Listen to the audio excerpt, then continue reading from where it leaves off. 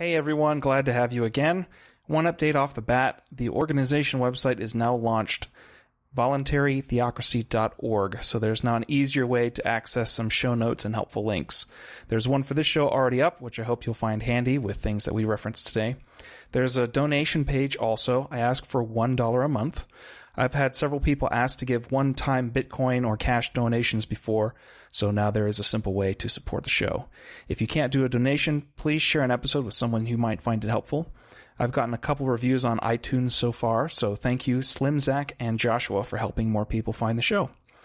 Now, some of you know that I have a background in media production, and I've gotten royalty checks and benefited from a copyright tradition. I don't call it law, tradition, on multiple occasions. And I have family who've had their entire livelihoods supported by royalty checks, copyright, things like that. So, how can I say in the title that copyrights are unlawful? Wouldn't that be hurtful for me? So Stephan Kinsella is my guest today. I found him through Tom Woods' podcast years back, and I've run into his talks at Mises University online several times.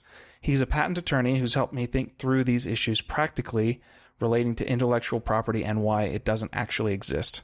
I believe there's a Bible verse that I can point to as well in Exodus, but we will get to that. We get into some less than settled issues that are fun to talk about as well. Let's go. Deuteronomy 4 5 through 8. See, I have taught you statutes and rules, as the Lord my God commanded me, that you should do them in the land that you are entering to take possession of it. Keep them and do them, for that will be your wisdom and your understanding in the sight of the peoples, who, when they hear all these statutes, will say, Surely this great nation is a wise and understanding people. For what great nation is there that has a God so near to it as the Lord our God is to us whenever we call upon him? And what great nation is there that has statutes and rules so righteous as all this law that I set before you today? My name's Adam Terrell, and I'm here to encourage you to obey the law and think about it and speak about it constantly. I broke the law. Christ paid my debt by sacrificing himself so that I can be clean to offer myself as a living sacrifice back to God. The entire Mosaic law is obligatory for everyone, Keeping some of the laws look different today because the light of further revelation supersedes shadows in the old law. The temple sacrifices are an example where we have something better. Note that we must still obey the Mosaic laws for sacrifices.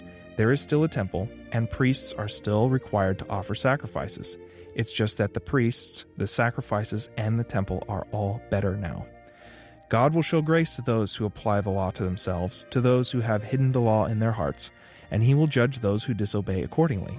I must apply it to myself, and then those around me will see its fruit and be drawn to its goodness. Theocracy grows by the sword of the Spirit, God's Word, and self sacrifice. The law's purpose is to give a path to restoration. Christ has restored me, so I must seek to restore others by sacrificing myself. Thanks for listening. My goal with each conversation is to edify and bring the law and wisdom to bear on each person's current situation in life. Hey, this is Stephan Kinsella. I, am talking to you from Houston, Texas, where I live. I'm a, a patent attorney by profession and um, a libertarian writer and speaker. And I've been a libertarian since high school. And uh, from Louisiana originally. And uh, I would consider myself to be the type of libertarian, um, an anarchist libertarian, influenced heavily by uh, the Austrian School of Economics and Murray Rothbard and other thinkers such as Ayn Rand, who was not an anarchist, and Mises and Hans Hermann Hoppe and, and many others. So that's basically where I'm coming from um, in my life and approach to political philosophy. So, how did you become a libertarian uh, what would that have been? What year would that have been? Probably 82 when I was uh, like, or 81 or 82 when I was a, a sophomore or a, ju- a, a, junior in high school. And uh, I was sort of apolitical, didn't know anything about it, was just interested in science and philosophy and all that stuff. And uh, a, a, librarian recommended that I read The Fountainhead by Ayn Rand. So I read it, and that got me down the Ayn Rand path at first. Um, but then that finally led to Austrian economics and anarcho capitalism. So that would have been before. I know a lot of people recently have been brought into it by Ron Paul or had their attention drawn to it by other sources? No, no, I was way before Ron Paul. Um, I've always liked Ron Paul, but I've never really learned anything from him. I think he's just uh, someone who's who has adhered to certain ideas. Um, I was at I went to Louisiana State University, LSU, and I was there from 80, 83 to uh, 80, um, like uh, to 1991, eight years. And when I was there, Ron Paul actually ran for president in I think 88 it was, and I was a, a libertarian, but I was still skeptical of liber. I was I was Randian. I was you know so I was their politics is libertarian, but they she hated libertarians, so I thought she was right in condemning them. I thought there was something wrong with them, right? That they were not identical to us. But I kept seeing their pamphlets around school and listening to, and everything they said sounded similar to Ayn Rand's politics. Uh, what did Ayn Rand hate about libertarians? Well, I think it was it was number one, it was competition. and number two, um, they didn't buy her whole philosophy. There was just like her political, the wing, the political aspect of her philosophy. So she has an ethics and a metaphysics and an epistemology and a moral theory and a, and an aesthetic theory, and they just took the politics part, right? And she thought it had to be an integrated whole, and she also thought they plagiarized her and ripped her off. Um, which is ridiculous if you're a thinker and you want to influence people to adopt your ideas. And when they do, then you attack them for it. It's strange. Um, and plus, a lot of them were um, were anarchists, and she hated anarchists. She think they took her, I guess, her philosophy too far or her her ideas too far. So she had a long. I mean, they they still reject libertarianism, um, but I think that's basically the reasons. But I, I thought she was right at first, until I kept seeing, you know, evidence to the contrary. Yeah, that is interesting. I've heard, I did hear Walter Block say something similar about if you would disagree with her with something, she would basically kick you out and wouldn't have anything to do with you anymore, would cut off all contact, so to speak. Yeah, you had to buy her whole philosophy. Um, and that she thinks so. She thinks libertarians have no. I mean, it's almost like the the the, the thick or or religious uh, uh, perspective on liberty, where you anchor your um, your political views in a broader philosophy, you know, um, of the whole, that encompasses like a worldview or everything. Yeah, so like the, like some some religious people would say you can't really have a solid political philosophy or ethics if it's not grounded in a deeper moral law, that kind of thing. And Rand had a similar view, but it was more secular, you know. Um, so she thought the foundations were shaky and that they were arbitrary. Like if you just happened to like liberty for no articulable reason, then you weren't really a, a reliable ally and all that. Um, so it was sort of that kind of view.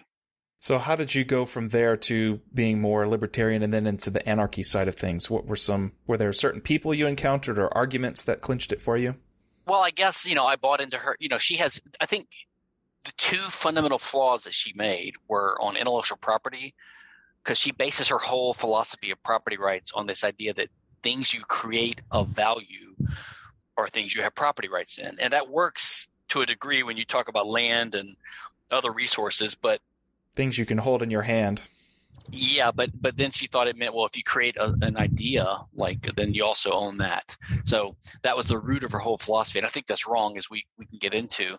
Um, and then her other is, you know, the idea that you need li- government is usually bad if it's too big, but you need limited government um, because without without government, there's anarchy, and anarchy um, anarchy is necessarily law- lawlessness because uh, you could have competing governments basically or agencies that could have wars with each other. But of course, she herself did not favor one world government, which she ration- she logically should have following her own reasoning, right? Because we have 200 governments, nation state governments in the world today.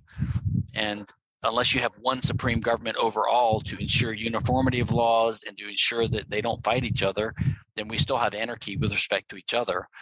So logically, the objectivists should want there to be a one world state. And some of them admit that, that ideally that is the ideal solution, but that in today's world it would be too, uh, it would be too problematic. Um, so they sort of hedged their bets on that.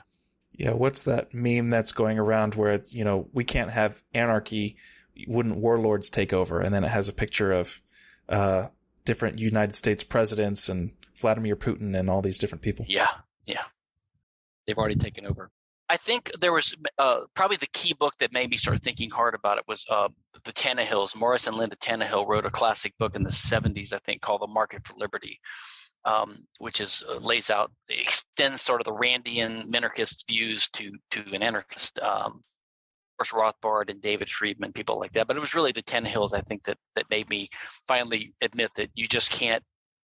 Once you believe in individual rights, like Rand did, um, and that it's always wrong to initiate force against people, then you have to say, well, you can't tax them, and you can't you can't use force against them to prevent them from using their own security providers as long as they're not committing aggression.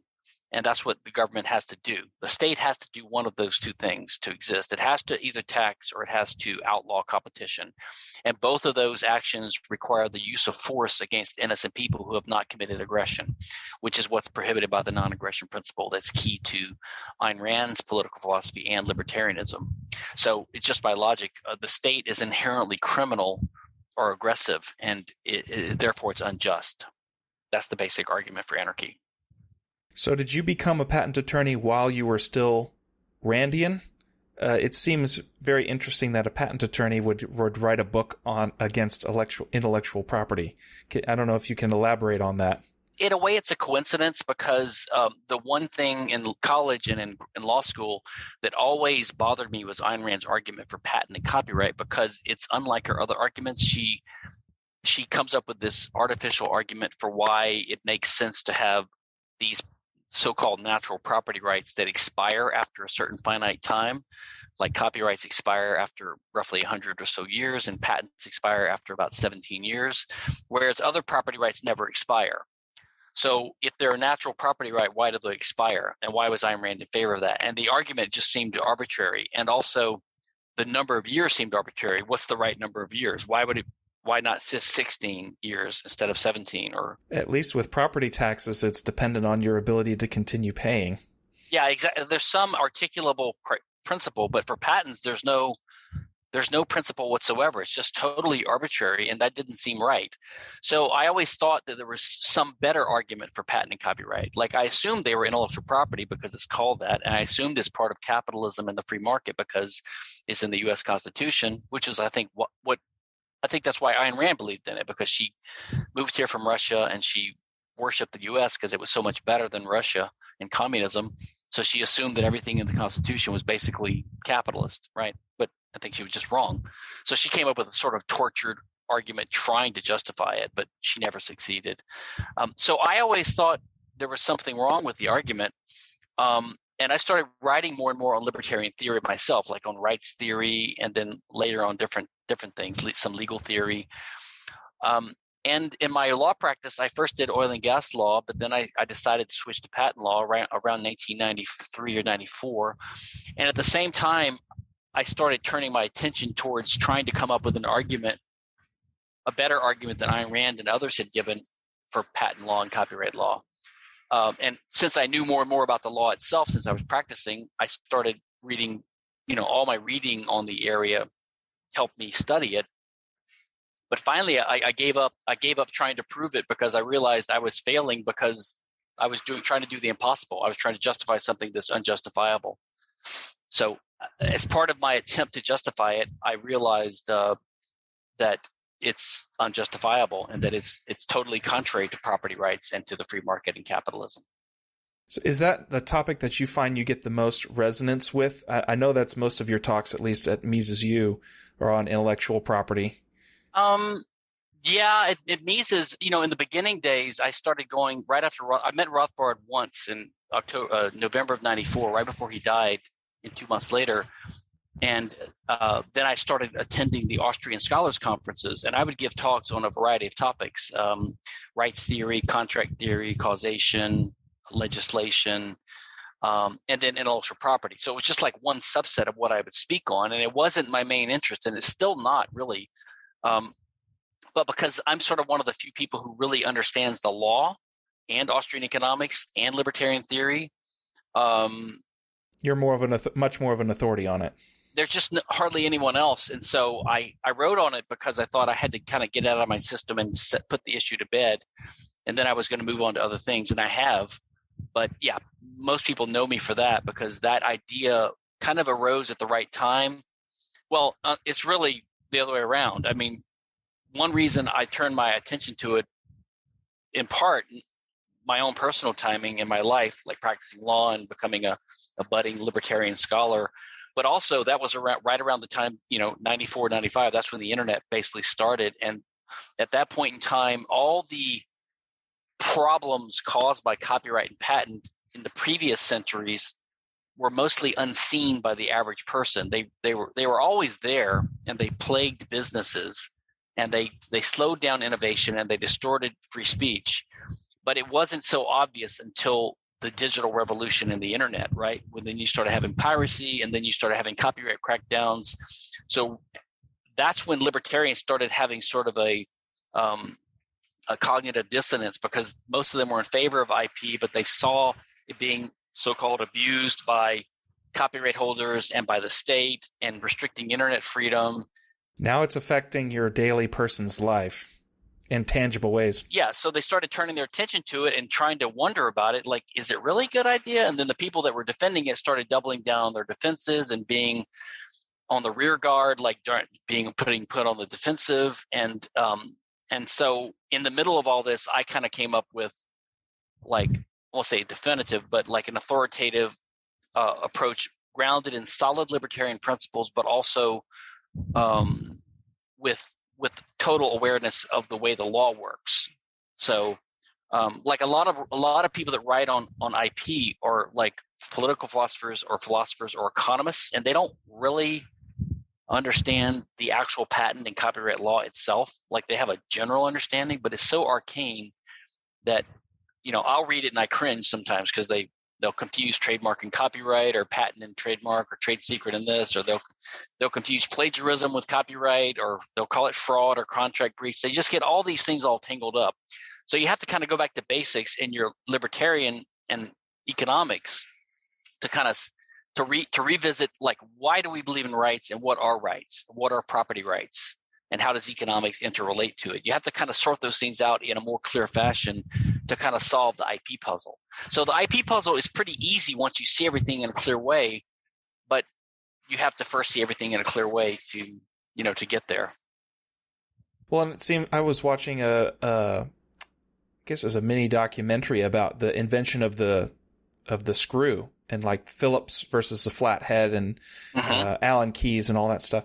The guy that invented the Phillips, he had a patent on it, and the only reason it's so ubiquitous is I think it was either a car manufacturer, it was Henry Ford or somebody like that offered to buy him out of the patent and all these things. And it was like the only reason that that took off is because it, it, it became standardized was because somebody bought the patent for it, but then a whole bunch of people started infringing on it and just adopting it faster than anybody could catch her. Something like that. Well, and eventually it would expire eventually anyway, but it, but if it takes 17 years, it could slow things down. I mean, right. You know, like the U.S. in World War One, when it started, our airplane industry, even though the airplane really started here um, in the U.S., uh, our industry had been slowed down and plagued by patent wars between people claiming various patents on it. So when World War One started, we were really underdeveloped in the air, airplane industry. So I think we had to, uh, all the countries had to go to France and things like that. So, you know, it retarded the development of the airline industry. Um, there's lots of we're so used to these systems that we take it for granted like the copyright system we take it for granted that you can't sing happy birthday in a restaurant without permission alcohol that, that finally expired but yeah. Well no it didn't expire but there, a, a, a, there was a lawsuit that finally showed that it was public domain all along but of course for 40 years or something someone had been collecting millions of dollars of royalties from everyone and it's too late to get that back you know so it did its damage. But the point is patent and copyright heavily distort uh, culture and uh, um, and industry, and we don't even notice it. Um, um, so it leads to artificial, like all kinds of artificial things that we take for granted now. Like for example, um, like all, all the laser printers you buy, they're not compatible with each other, which is kind of stupid, right? Because most things you want to make them compatible so that you can have competition. Consumers prefer compatibility, but they all have these patents on these circuits they they just make these circuits like a mating circuit they make. So like half the circuit is in the printer and half's in the cartridge. So they have to each have the circuit to work so that if anyone makes a, a, a generic cartridge, they have to put that circuit in there and that's infringing on a patent on the circuit, which is useless. But it's just, I mean, all kinds of things like that, right? So, um, yeah, people people frown on things like I know uh, in the camera world, Sony has their own proprietary uh, memory card called a memory stick, and it only works in Sony things because Sony's trying to get adoption because they're the only people that make that style of memory card and they don't license it to anybody. But in the technology world, because things move so fast and there's so many different ways to make a memory card, you know, it's the ones that have basically become open source and most widely used that become adopted. Not, eh, you know, SD cards are, are definitely the standard and it's because they, they tried to work and be compatible with everything. That was interesting to watch. I remember I had the uh, Sony, uh, I think they call it Magic, Magic Stick or something like that. And it was a little MP3 type system, but it was heavily copy protected. I, I think you had to have the CD in your computer to play a song. I mean, it was so ridiculous, you know. And then Apple came out and they and Steve Jobs, I think, made these deals with iTunes and the music industry to, to start having just MP3 files, which are um, which are uh, have no DRM. Right. And um, so that changed the industry, and Sony lost out. When they, remember, they used to be the leaders with Walkmans, and they could have had this digital Walkman, but they insisted on copy protection, probably to satisfy the content providers. It really, I can't even blame them, but you can see how all these things lead to distortion.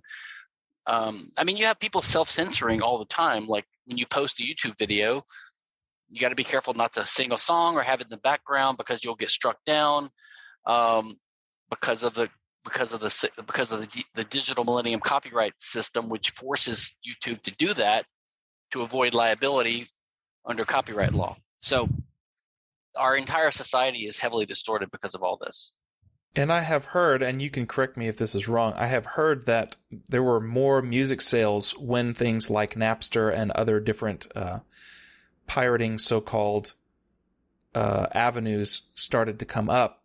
With the increase of pir- of music piracy and copyright piracy, the sales will actually go up because now people are being introduced to more things and then they decide to buy the full quality copy or a CD or an album. Is that true? Do you know anything about that? I think there's something to that, at least in certain phases of of where we are in the cycle. Um, I think it's true with books too. Like um, there's so many, there's so much creative work now in the world which is another argument against copyright. They say it's necessary for creativity, and yet copyright law is largely unenforceable now because of encryption and torrenting and the internet and digital stuff. So basically, copyright is, is a dead letter now for most people.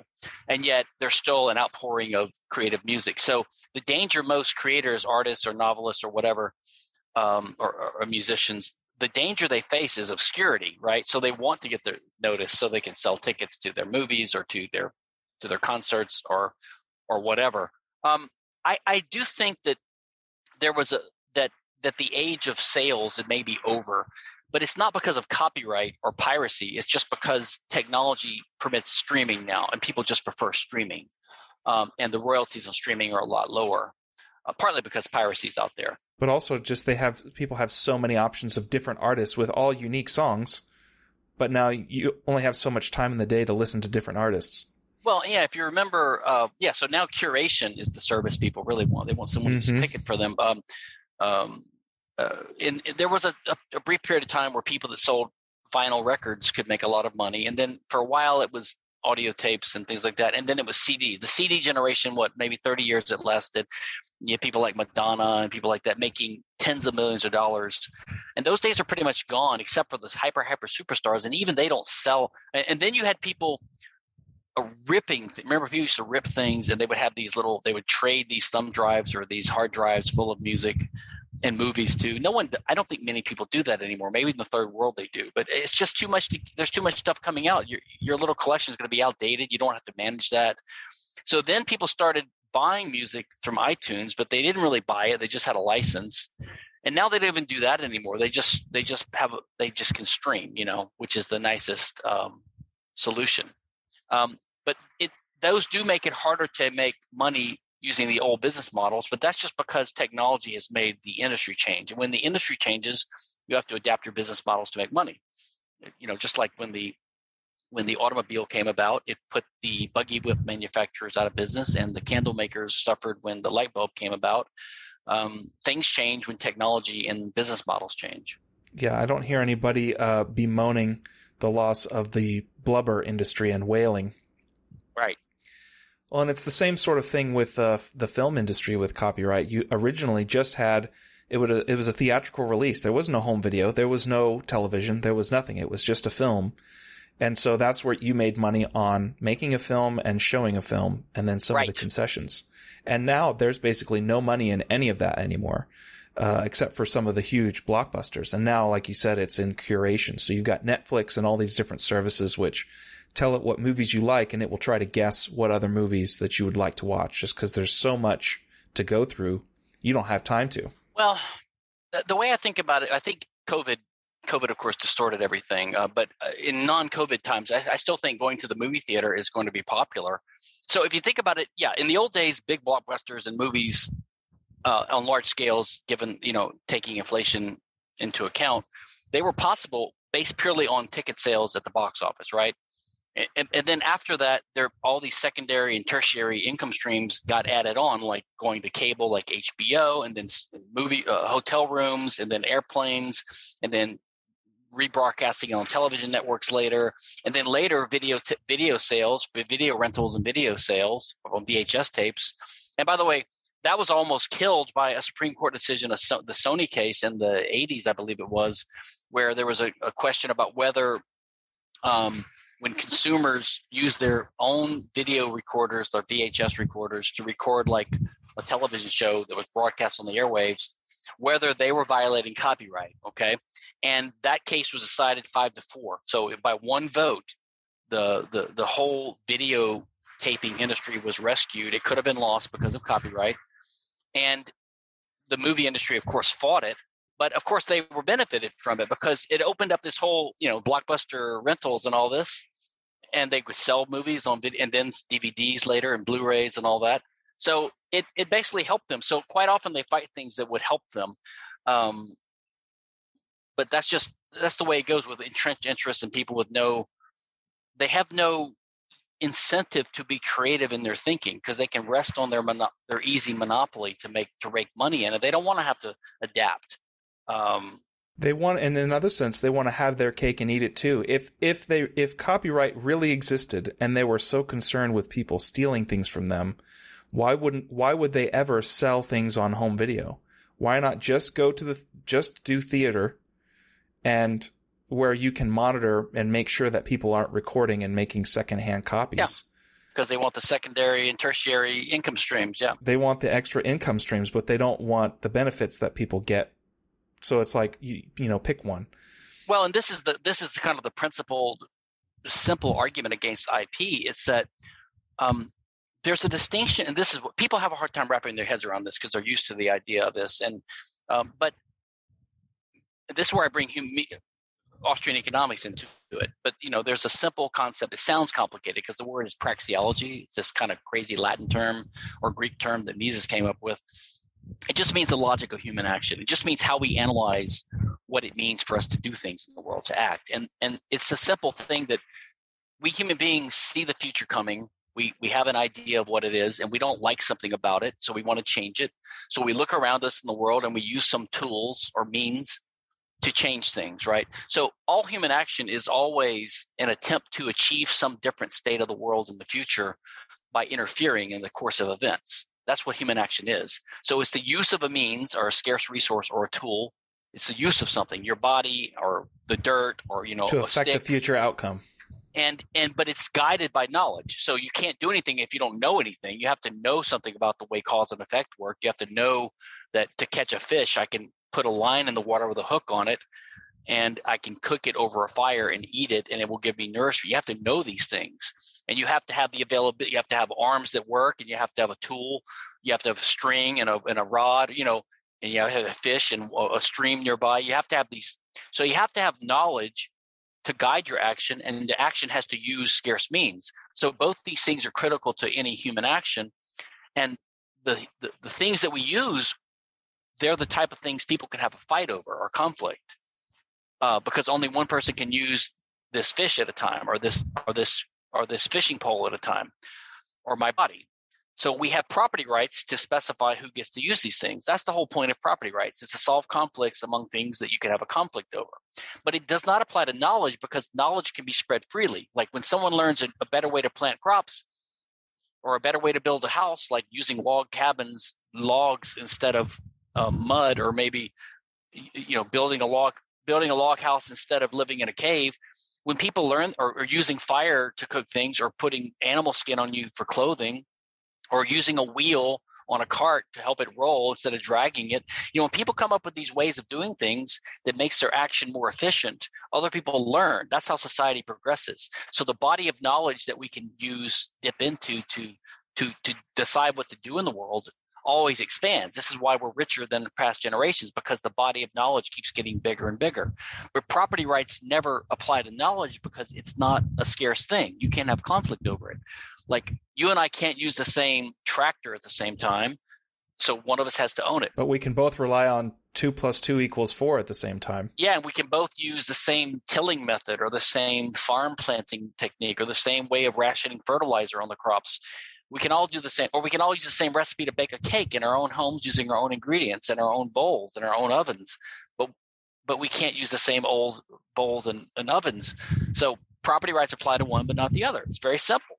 And it's actually a healthy thing when people start to copy each other. It's very good. Uh, I was talking with somebody who is in trailer manufacturing, and all the trailer manufacturers buy each other's trailers and they copy what works. And it's yep. just all freely exchanged information. There's no patents on how to weld things together. It's of course. what's the best way to do it. And we all benefit from it and that's why that's how society advances and that's how technology advances. Um, that's what learning is really. And and that's what free market competition is by the way. When you see someone who comes up with a new business idea that succeeds what it means to succeed is they make a lot of money. They make a lot of money by selling a lot of services or products to consumers by satisfying the consumers. They saw a demand that no one was meeting and they satisfied it with a new idea but when you do that, you make a profit, which is a very high profit at first because you don't have any competition. So other people notice this. So that's what spurs innovation. Of course, and it's it spurs competition on the free market. So people see someone making a profit, you know, delivering pizza, right? Oh, this guy, you don't have to go to the pizza store. You can you can have home delivery. So I don't know who was the first one who started it, Domino's or Pizza Hut or whoever uh, or fast food. You know, someone's making fast food hamburgers, so now you have Burger King and Wendy's competing with McDonald's, and and you have you know Papa John's and uh, Pizza Inn all competing with Pizza Hut or whatever, however it works. You know, um, so and when competitors start doing what you're doing, they steal some of your customers, but you don't really own your customers. That's just a word we use. But and it reduces your profits because now you have competition, and that makes everyone better off except for the first guy, who has to keep innovating and pleasing the consumers. That's why the free market works. So, um, the patent and copyright system basically give give someone who comes up with an idea first they give him a monopoly over it. So what where what i was going to get with with your analogy is the the simple idea of against ip is that um, if you want the benefits of giving information out to the public then one of the costs of that is that you're giving information out to the public. So if you have a secret technique for making candles better, you can do that in your own factory and you can, maybe can make them at a better price because you have this better technique. And if you keep a secret, you can use that forever. That's called a trade secret. But if you sell a product where the there's an improved design and it's going to become apparent to people, but you have to tell the secret to sell it. Like if you have a better mousetrap, you're going to tell people, "Hey, buy my mousetrap because it's better because it has these features." Mm-hmm. So you're going to publicize the improvement that you came up with you have to publicize it to sell them. But right. that means you're going to tell people how to do it, and soon you're going to draw competition. That's just the balance that is faced by any entrepreneur. You have to know that you're going. If you succeed, you're going to face competition. People are going to emulate what you do in better or worse ways or similar ways. And you're going to have to come up with a business model that lets you make a profit, even though you're facing competition. And then there's also the the KFC way of doing things where you have a secret recipe and that's what you sell people on and you don't have to tell them what's in it. And if they knew the secret recipe, they could make chicken just like KFC does, but they've just decided never to sell that. Yeah. And and the same thing with Coca-Cola. Although people say that the secret the secret's really out there and it's you know, even if you knew exactly Coca-Cola's formula, you know, it's going to be hard to replicate it with a big factory and to compete with their name and all this. So it's not so easy to just jump in and compete with people. I mean, the pharmaceutical industry says that they spend so much money, billions of dollars developing a drug, so they need a monopoly on it for 17 years with a patent to stop competition so they can sell it at a monopoly price to recoup their cost of investment, right? That's the argument. But first of all, the cost of development is so high because of the FDA.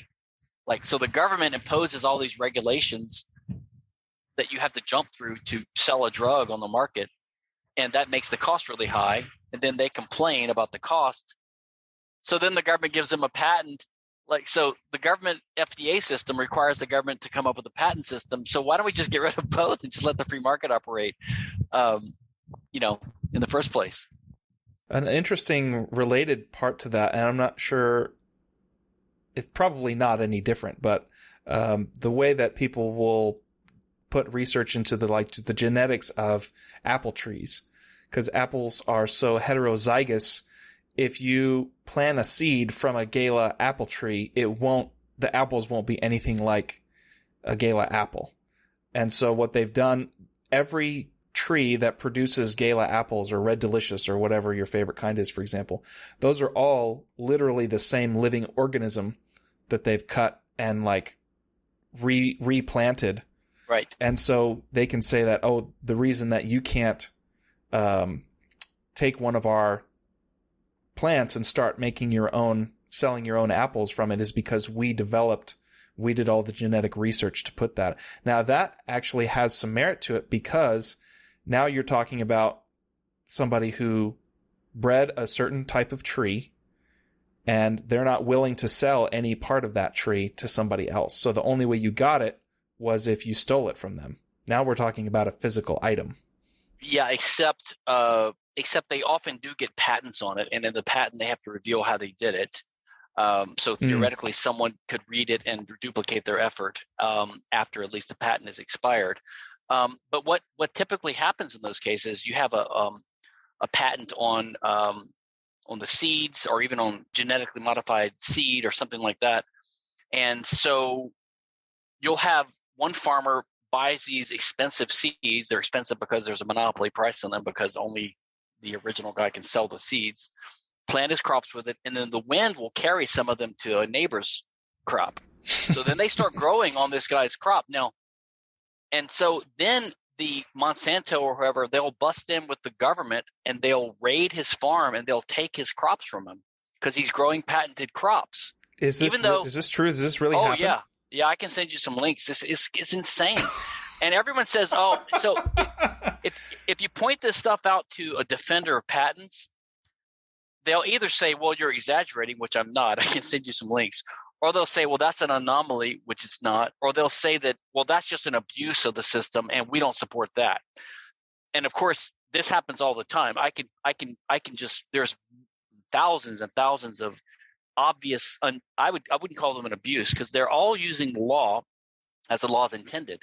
I would call them um, um, examples of, of outrageous consequences, right?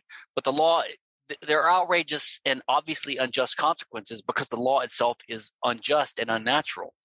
When you have an unnatural, unjust law, you're going to have unnatural consequences. So, for example, if you oppose the welfare system because it tends to steal, well, it steals money from people that earned it, so it's theft, and it also encourages bad habits in the people that you're subsidizing, right? But now we start criticizing people that that take welfare because they're lazy or whatever. Well, they're not really lazy. They're responding to natural incentives. If you pay someone for nothing, they're going to do nothing. If you put a trough out with free food, the pigs are going to come eat at the trough. I mean, you can't put a trough with free food out and complain that the pigs come to eat at it. That's the goal of it. That's what businesses have as their goal. How do I make the most money with the least effort? Yeah, so it, so if, if you see people using welfare and if you criticize them, for abusing the system, they're not. They're doing exactly what the system wanted. If if if you could have a welfare system and no one ever took a dime of it, then we wouldn't complain about the welfare system because it wouldn't have any effect. But of course, we complain about these laws because they're real laws and they have a real effect. So the problem with patent and copyright law is not that there's abuses; it's that there are natural consequences that were intended by the system. They're just unjust. People say things like, well, the problem with patents is that there's bad patent quality because the examiners aren't paid enough and they don't do a good search. Or that patent trolls that don't even make the product, they sue you and they that shouldn't be. Or that the award was by the jury in this case was just too high. So that every time you point an obviously unjust result, they will say, well, that's not the system that I'm defending. But basically, there's nothing left after you point to all these abuses and you say, well, well, everything I point out about the system, the way it works, you agree with me that you're not in favor of that. Like libertarians, at least, they'll say, well, I'm in favor of the patent system, but no, I'm not in favor of that. I'm not in favor of that. I'm not in favor of that. And then you say, well, what are you in favor of? And they say, well, I'm not an expert. I'm not a patent lawyer. How would I know? It's like, so, and not to get, not to get religious, but this is, you know, I am not religious. And so this is one of my are this is one of my frustrations with some religious people. They argue for God, but they won't define it, or they define it differently than other theists. And so you can't. It's like nailing Jello to the wall. You can't pin them down. And then they they won't accept any of the the crusades or or or whatever bad fruit you want to point to. Yeah, if you say, "Well, I don't believe that a, a guy with a big white beard up in the sky," they say, "Well, we don't believe in that." It's like, "Well, what do you believe?" Well, but God's undefinable. It's like, well, then what am I supposed to, you know, you know, um, and in fact, I came to my religious views similar to the way I came to my patent views. I was a young Catholic, very hardcore, but I, I, was dissatisfied with some of the arguments. So I tried to come up with my own, and I finally was unable to do it. So I concluded that, yeah, there's a reason I'm unable to prove this too. Not to get religious on you, but no, this is a religious podcast, so that's I think uh, uh people people enjoy talking about that. Not to offend your audience, I should say that. No, I, it's it's fine. I had Walter Block on, and he was a uh, uh, very polite, very very fun to talk to. Um, I did want to touch on this one thing. It's and I'm not still not even sure the implications of it, but I did find a Bible verse actually that I feel would preclude the existence of intellectual property uh, it talks about for every breach of trust, whether it's for an ox, donkey, sheep, cloak, or for any kind of lost thing of which one says, this is it, or here it is, the case of both parties shall come before God. The one who God condemns shall pay double to his neighbor. So it seems like that verse would kind of preclude the existence of uh, immaterial property or being able to sue somebody for theft for something that you can't like literally hold in your hand and say, look, here it is or this is it. Oh, that's interesting. I'll have to look that up. Uh, I, I, think I've heard of some other uh, verses in the Bible. Some people have told me um, is are similar, but I, I, have I've forgotten what they were. Um, uh, by the way, there was crude forms of intellectual property even before the Bible. Uh, like I think as far back as 500 uh, BC or so, in the Greek city-state of Sybaris, there was a culinary competition so they would have a competition to see who came up with the best uh, dish that year, and whoever won, uh, whatever the, the equivalent of the king was, would in that city state would give the winner the exclusive right to make that dish for a year. So this this way of thinking has been around for a long time. The idea that if you know, you'll hear little girls do this too, or or, or young people. Like uh, one girl will wear her hair in a certain way to school one day, and other if it's popular other girls start copying her and she says they stole my haircut or something you know it's just it's childish mm-hmm. right it literally is childish but that's infected even what the way adults think about about ideas now so you mentioned that uh, you're sort of you were sort of begrudgingly dubbed the Austrian expert in terms of intellectual property. It, is that what what other subjects have you moved on to, or, or you find more interesting these days? I wouldn't say begrudgingly. I don't. I don't mind at all. Um, I, I I am a libertarian, and I like to make a contribution. Or it wasn't. It wouldn't have been your first choice. In other words.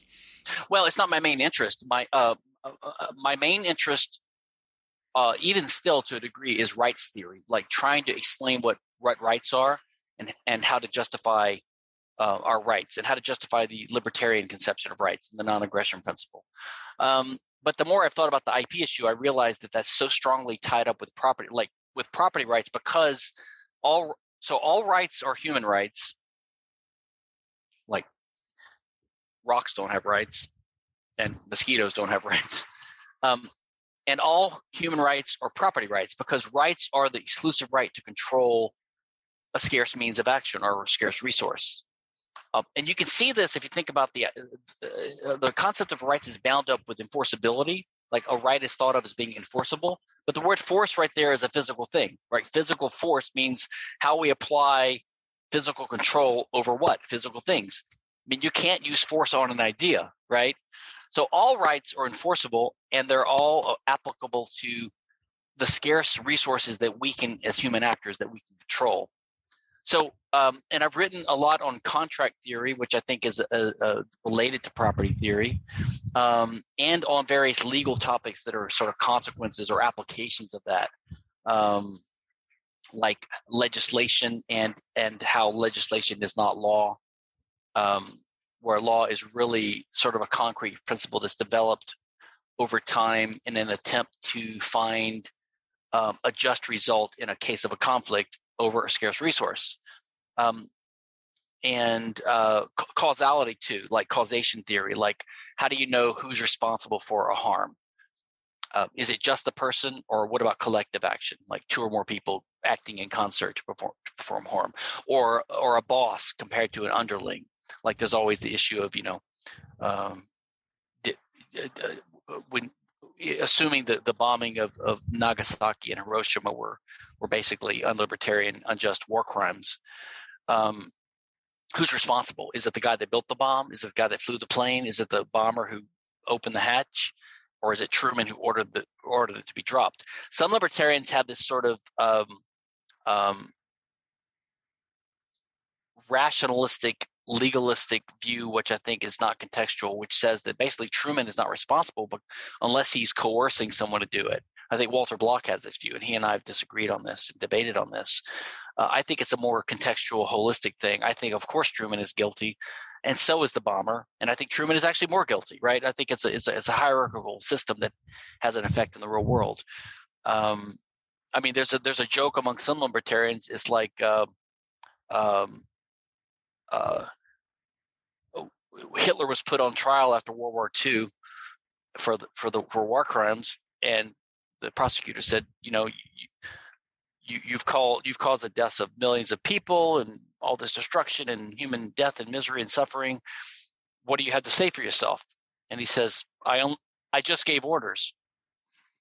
you know, but of course that's a joke because we see that as absurd. But that would be the implication of some of these libertarian views that, like, only the direct actor is liable I think that they think that because they have a mistaken understanding of the concept of joint and several liability because they're not lawyers and they don't understand uh, creative ways that the law has handled situations like that. So I think that they're afraid that if, like the mafia boss who gives an order to a hitman to kill someone, if the boss is held responsible for giving an order, then there's like a hundred percent responsibility and you're allocating it to him and there's none left over for the hitman. So they're worried that like if you if you hold the the boss who gives an order responsible that you can't hold the the guy lower down the pole responsible. But of course the answer is they're both responsible. You can have joint and several liability. Just like if two guys beat you up they're both 100% responsible for all the damage that you suffered. You know, if two people two people collaborate to blow up a, a building and kill a bunch of people, they're both 100% liable each for the murder for the murders of those people. This is easily handled in the law by this concept concept of joint and several liability. So I've written on things like that, and in fact, I have a book coming out uh, soon called "Law in the Libertarian World," which collects a lot of my uh, edited essays and, and, articles on intellectual property and these topics. Uh, so IP will just be like one, I don't know, one tenth of kind of the the scope of the things that I've covered in my in my writing. Well, and it also seems like, um, just in terms of the way that the economics work out, any if let's say, um, well, like the consequences of you know exterminating six million people, sort of falls back onto the entire German people or the entire German nation you have the loss of all of those lives. Now you've got this many less workers, and that's going right. to have economic and monetary penalties. And now you're not going to now uh, things goods are certain goods are going to cost more based on how many of those people were farmers, and it just ripples out into the entire economy, affects the price and ease of doing anything and everything. Yeah, there's consequential damages. I mean, in, in IP, this comes up when people say, well, how can you say that um, there's no property right in ideas because ideas make things more valuable? So, for example, if I have a a blank sheet of paper and someone a, a blank a blank notebook and someone steals it, it doesn't harm me as much as if they steal my notebook with my novel on it, which is unpublished, let's say. So they say, well, that proves because the, the, the, one with the words on it is more valuable. That proves that the words have value and therefore you have a property right in them. See, that's sort of their argument. But again, this can be handled simply with, with just well developed, established principles of law, which is that when you commit a tort, which is an offense or a trespass, um, that's the crime, but then you measure the amount of damages that is done by the consequences to the person. So if I steal your Rembrandt painting, it hurts you more than if I steal your poster, even though they're both materially, you know, pieces of paper with with ink on them, right? Mm-hmm. Um, that's just common sense. Um, you know, if I if I steal your grandfather's watch from World War One, it's worse than if I steal a watch that you just bought for the same price. Would that bleed over into things like uh, wireless frequencies for TV bands? Like if somebody's making money off of subscribers that depend on clear airwaves, and then somebody comes along and disrupts that, and somebody knows exactly who they did, and uh, they had to pay so much in damages to angry customers and things like that. How would that relate? I think you've hit on so you've hit on one of the few difficult areas of libertarianism that I would say is not yet settled. Um, I think the IP issue is settled. In other words, it's such a clear case. Like to my mind, of all the issues of libertarianism, the drug war and intellectual property are the two easiest. it may be hard to see the IP one, but once you see it, it's just there is no good argument for IP and there's no good argument for the drug war.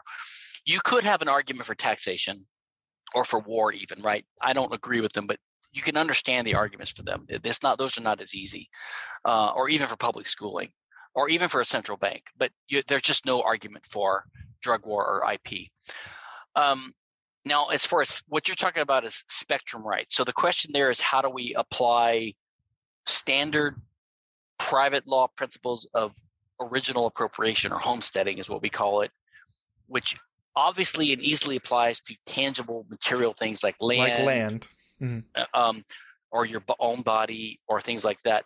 How do we apply it to um, to airwaves, basically, or the spectrum, the electromagnetic spectrum?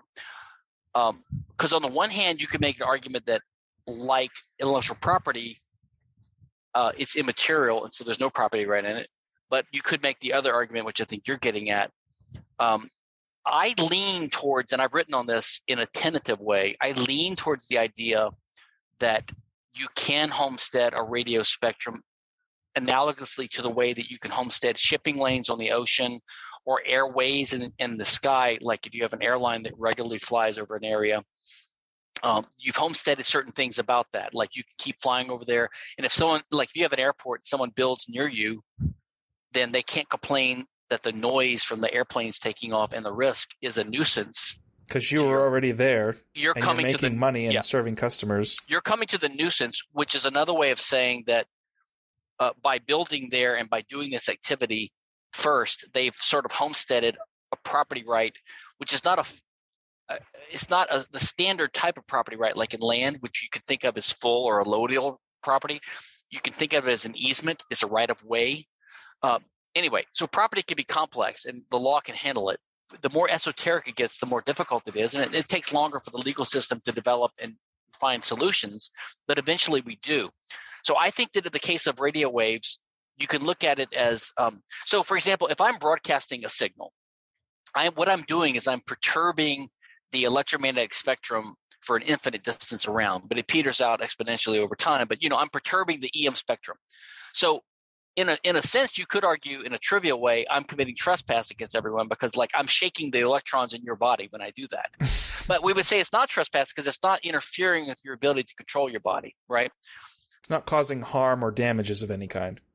Well, but if I shoot a laser into your body, I am right. But if it's just a, a radio signal, it's just, it passes through people harmlessly. So that's not a trespass.